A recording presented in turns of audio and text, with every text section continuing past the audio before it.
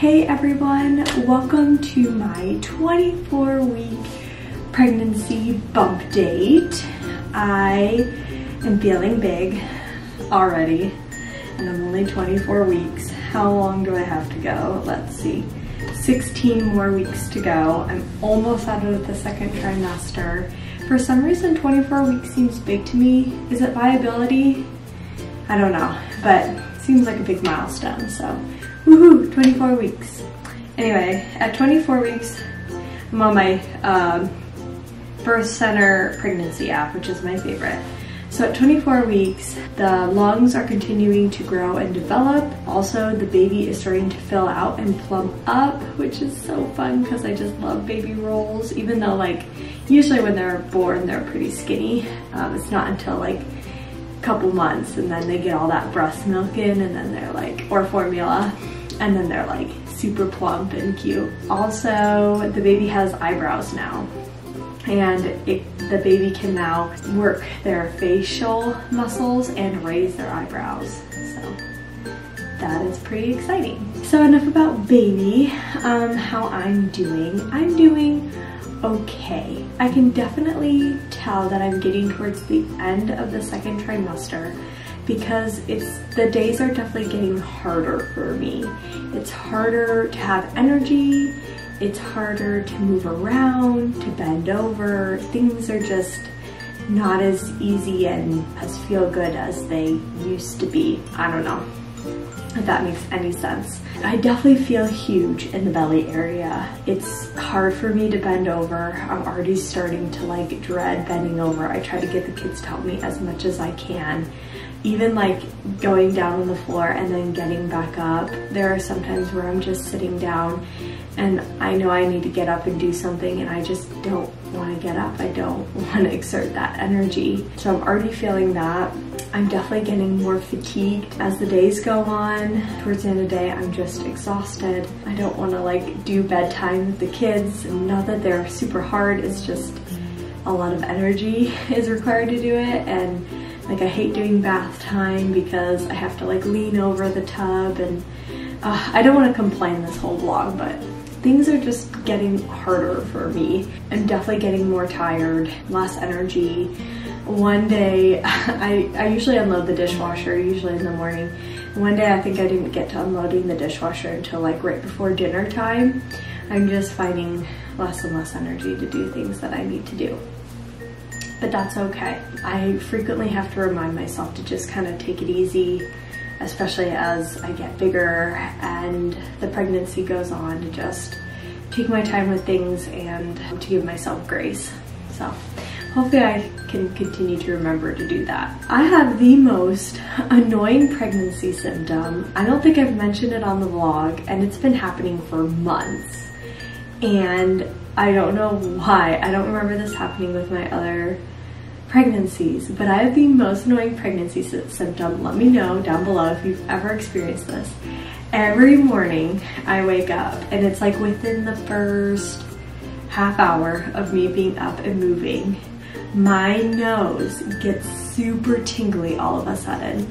Like kind of that tingle you get before you're gonna sneeze, but then I never sneeze. It just like, the tingle builds in my nose and then it just like I don't know, it's just like super tingly for like a couple seconds and then it just goes away. And it only happens once a day in the morning, but it's every single day. And it is so stinking annoying. I hate it. I don't know why that's a pregnancy symptom, but I've never gotten this before without being pregnant, so I'm pretty sure it's a pregnancy symptom and it is very annoying. I wanted to talk about that. Leg cramps have been better. I have not had a leg cramp probably this whole week. So that's been awesome. Headaches have been great. I think I've only taken medicine one day this week and that's it. Heartburn, have not taken heartburn in a while. I've had a couple of nights. I only get it at night right now. And it'll be the type where like I'm already laying in bed and I feel heartburn and I just kind of ignore it and go to sleep. Otherwise, like if I was, if I had energy, I'd probably get up and take a Tums, but haven't really taken Tums, so that's been good too. I've had really weird dreams lately. Definitely, I think it, pregnancy is influencing them. I keep having nightmares, I guess you could say, about like us trying to close on our old house, even though it's happened months ago. I still like have these crazy dreams where like we're trying to clean the house and get all of our stuff out of it and people are trying to move into the house. I don't know, crazy dreams. I've been peeing a lot more. I have to pee all the time. Rarely can I go through the night without having to get up in the middle of the night and pee. I have to do that all the time now which is a given, especially as I get bigger. I'm still dealing with pregnancy insomnia. Usually when I get up in the middle of the night, I have a hard time going back to sleep. There might be one or two times where I can just fall right back to sleep, but more often than not, I'm just awake and can't fall asleep and then I'm like exhausted the rest of the day. I'm still doing a cup of coffee every day, but lately I've been finding that that's not really helping much. Like the other day I had a cup of coffee and then we were downstairs and the with the kids playing in the basement. And so it had been a couple of hours since I had my cup of coffee and I was like wanting to take a nap. Like that hadn't even, that, that didn't even do anything. So definitely getting tired. I feel out of breath. I don't know if you can like hear it on this vlog, but usually other vlogs, like when I'm moving around, I get super out of breath very easily. So it's already starting to happen. Baby girl is kicking all the time. She is so active, so mobile.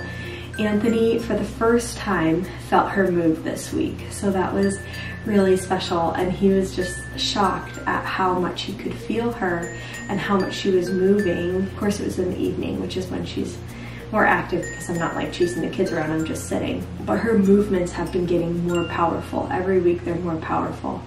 And um, I always feel the movement so low. I feel like I, in my two previous pregnancies, they weren't so low, but hers are very low. But yeah, she's moving a lot. It's funny, I'll like go throughout my day and every so often I'll be like, huh, I feel like I haven't felt the baby in a while. Like that's kind of weird. And then it's like just me thinking about her, like all of a sudden she just starts moving. It's like we're already like in sync or something.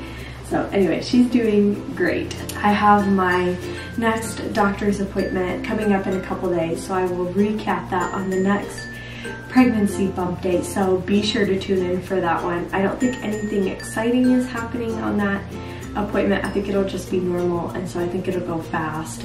But I think at that next appointment they will give me the glucose drink to take for when I come back for my 28 week appointment. I know a lot of doctor's offices do it differently. Some make you drink it in the doctor's office and then they make you wait an hour and then take your blood. My doctor's office has always been the same where they give you the drink a month early, you store it in your fridge for weeks, and then you take the drink an hour before your appointment and then you just show up, tell them what time you took, you drank the drink, and then they know when to draw your blood. It's always been like that for me. I've never had a problem with it. I've never had gestational diabetes before, so I'm not expecting to have it, but I know every pregnancy is different, so we will see. Also, I know a lot of people complain about the glucose drink. They say it's nasty. A lot of people want to throw it up. I think it tastes great. I like sugary stuff, so it really doesn't bother me. I've had no negative side effects to it. I could drink more of those. Like, it's not as bad as, I, I feel like not to be mean, but I do feel like some people are dramatic with it because it's really not that bad. I have noticed my back has been hurting a lot more, and this has been a reoccurring theme in my previous pregnancies. I think most pregnant women deal with back pain. I mean, if you think about it, you've got this large mass growing in the front side of your body and your back is just having to support it as it grows bigger and heavier. So of course your back is gonna start like having issues and I'm just now starting to notice it. I have a hard time being comfortable sitting. Uh, I usually have to prop my back with a pillow and even then sometimes that doesn't help. In my previous two pregnancies I've worn a belly band and I'm almost positive I'm gonna have to start wearing it soon for this one. And I find that it really does help my back. They sell it in the stores. I think I got mine off of Amazon. And it's basically a band that just Velcro wraps around you. You can put it on the outside, you can put it under clothes. And it just lifts your belly and kind of puts that strain off your back. I've found a lot of success with it, so I definitely see that coming soon in my future.